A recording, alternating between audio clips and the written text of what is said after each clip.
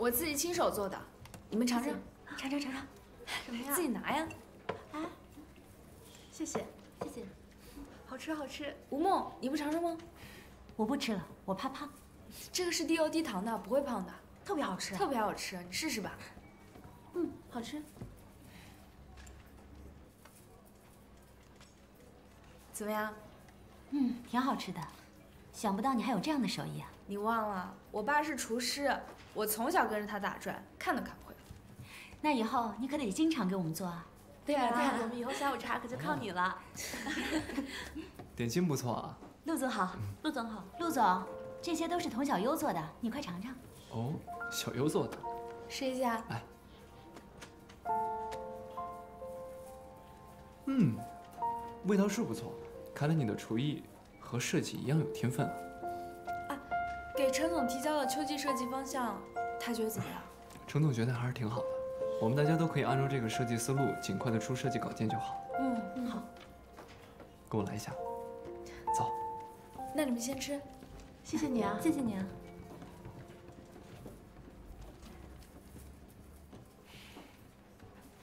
有什么了不起的？还不是咱们大家伙帮他想的主意，现在都成他一个人的功劳了。吴梦，我还以为你吃了他的点心就和他成为好闺蜜了，跟敌人成为朋友，根本不可能。开会。陆星辰有什么行动啊？但是那个什么就是不接了。谁有奶吃就是娘。所以啊，我跟你说啊，咖啡，谢谢。哎，不客气。方便吗？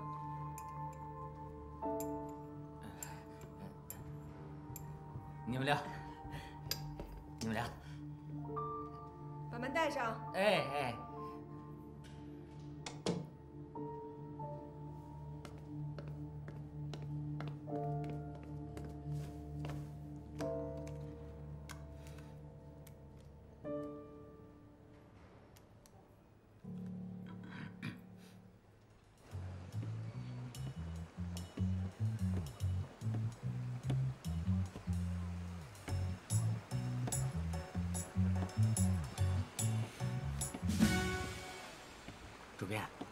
你已经完全康复了，嘿，这爱运动的我呀，说重点。嗯，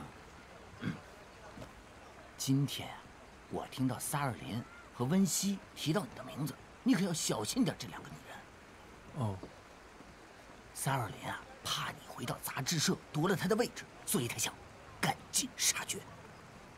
嗯，哎，主编，你有什么对策了吗？如果你想杀个回马枪的话，我可以给你做开路先锋。哦，哦哦哦哦！你给我个指示也好啊。我不打算再回去杂志社工作了。你在出版界风生水起，为什么要放弃呢？你一定不是因为我。你是为了奥，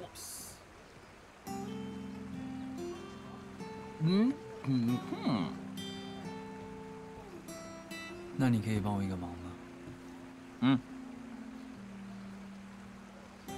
帮我把我现在名下所有的房子和车子都卖掉。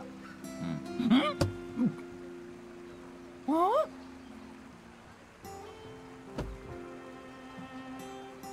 为什么呀？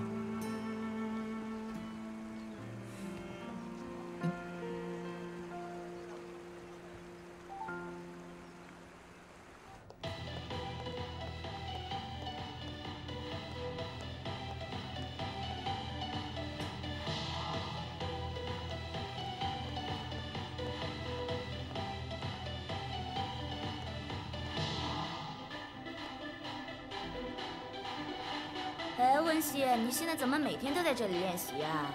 她男朋友现在出了点状况，再不努力练习，估计啊，以后连广告都接不到了。就是，那这个公司会跟你解约吗，温熙？你们可以不要再烦我了吗？走了一个小时都觉得累了，有这个时间说话，还不如多练习练习。怪不得，以你们现在的资质，不止 Chick 不会用你们，就连街上的小广告也不会用你们的。哦，还有，Chick 已经跟我续约啦，你们不用再担心我啦。你们有没有机会？嘚瑟什么呀？感谢童小姐参加我们这一次的采访。那么，我想先问第一个问题，就是您平时的穿衣风格是怎么样？喜欢穿什么颜色的衣服呢？我自己的话，平时会穿暖色调一点。我希望给别人带来的感觉，尽可能是阳光、积极、开朗。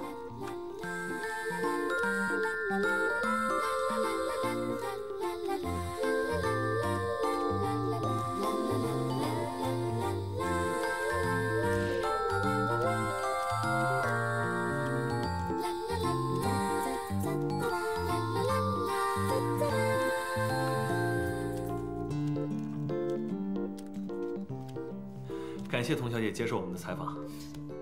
不客气。童小姐对未来趋势的展望非常有独到性啊。您过奖了，这仅能代表我个人的观点，并不能代表整个时尚行业。我们的读者就是喜欢这么有独特性的观点。童小姐，眼下呢，各个秋装公司已经开始设计，那我想问一下，关于严格今年秋装设计的方向是？这属于商业机密了，我不能透露。好，非常感谢童小姐今天参加我们的采访，打扰了。嗯，辛苦，再见。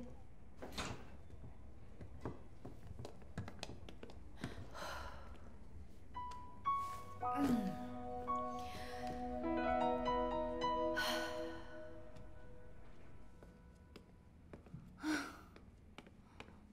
怎么拎着行李箱就来了？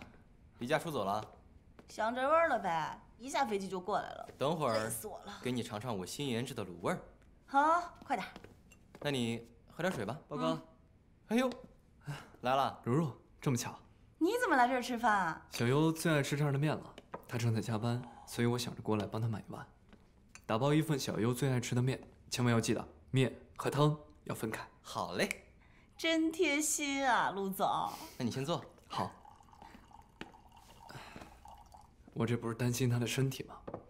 我是真的没想到，小优工作起来竟然会这么拼命。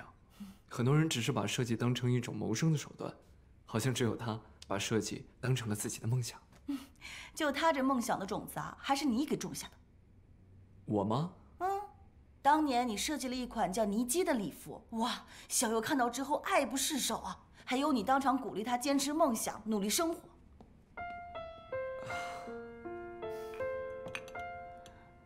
你都不记得了？没，我只是没想到，小优竟然过了这么久还记得。岂止是记得呀，你都不知道他在下一站 runway 看到你，看到那礼服的时候有多开心。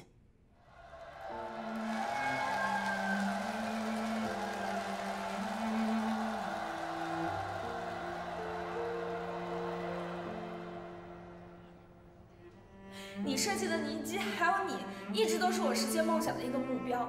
我能成为设计师，能今天站到这个舞台上，都是因为你。我再次见到你，真的太激动了，太激动了。你还 OK？OK OK 啊，你还记得我吗？我们之前见过。